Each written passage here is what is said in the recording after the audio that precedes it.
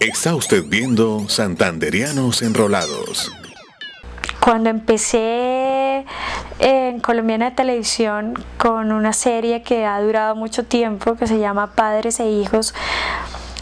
y era un personaje súper diferente a lo que yo soy como persona, era una drogadicta, yo me acuerdo que se llamaba Jenny, y empecé a conocer, no sé, esa forma de tener las cámaras, las luces, los planos, eh, no sé, el, sonido, empezar a interactuar con todos los otros actores que yo veía en televisión y que era lo que yo también quería, me empezó a emocionar muchísimo más y desde la primera escena que todo el mundo me aplaudió, me acuerdo muy bien, eh, me di cuenta que realmente era lo que yo quería hacer para el resto de mi vida. Pues hasta el momento no se me ha muerto ninguno y usted no va a ser el primero. Mi promedio es muy bueno y no me lo puede dañar. Y eso sonó muy alentador. Y lo es. El doctor Suárez y el tratamiento son excelentes. Se va a dar cuenta cuando esté totalmente recuperado de lo que le estoy diciendo. No se preocupe que está en muy buenas manos. Y de ahí en adelante nada, como hacia el año 2000 yo creo,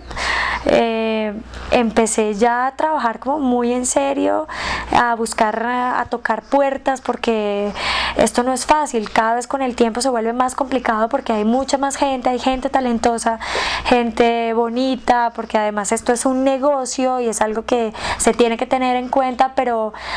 siempre he pensado y siempre lo pensaré y para cualquiera que me vaya a pedir un consejo sobre cómo entrar a la televisión, lo importante es estudiar, hay que formarse,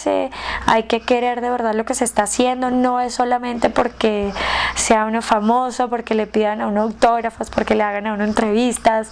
eh, porque le tomen a uno fotos. Realmente es más, es más de corazón, es más de,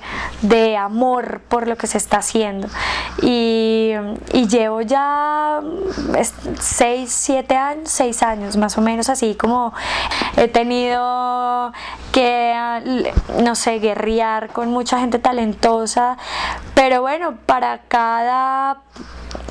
programa, para cada serie, para cada novela, hay un perfil y ese perfil eh, puede encajar en uno. Precisamente una de las últimas cosas que hice que ha sido de las más grandes, que fue trabajar una novela completa, fue con RTI Televisión Telemundo. Esto ya es una cosa internacional,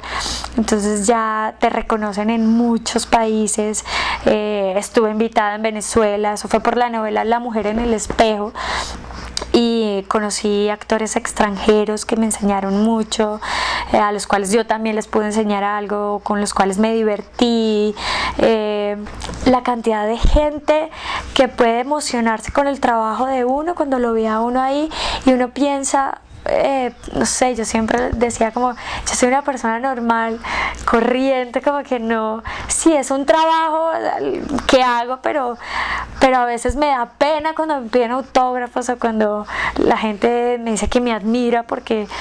no sé, es algo que siempre he querido hacer y trato de hacerlo lo mejor que puedo.